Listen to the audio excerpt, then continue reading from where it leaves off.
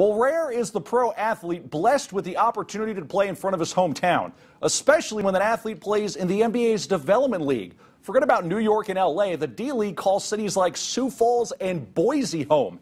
But Fort Wayne native and Snider grad Reggie Hearn got his shot Saturday night. First of all, I was like, Idaho.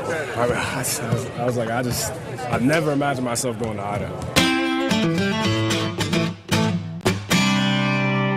A long shot from the quiet comforts of Snider High School to Boise, Idaho.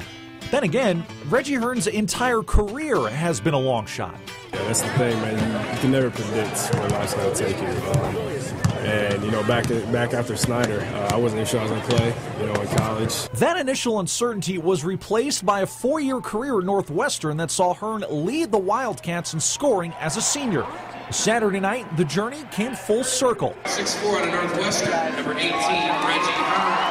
Now a member of the NBA Development League's Idaho Stampede, Hearn laced up in front of dozens of friends and family at Memorial Coliseum. It was very exciting. It's a dream come true. When he called and told me, he said, I've got good news and bad news. He said, I made a team, made the draft, I'm going to Idaho.